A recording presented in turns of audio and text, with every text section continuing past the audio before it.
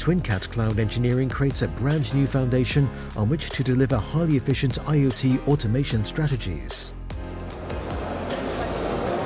We have been showing for several years that you can indeed use TwinCAT in a virtual machine in the cloud.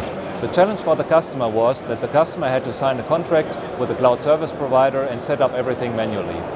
This is now changing. With TwinCAT Cloud Engineering, we are offering pre-provisioned virtual machines for the customer and the customer can use and connect to the virtual machines uh, via a web-based dashboard. The customer can choose from two different user models. The test user gets free access to the cloud engineering instance, and, and when he decides to, to further use the cloud engineering instance, he can use a, an Apple-based, a subscription-based model. He can also use source control mechanisms in order to exchange code or, or TwinCAT projects with an on-premise customer.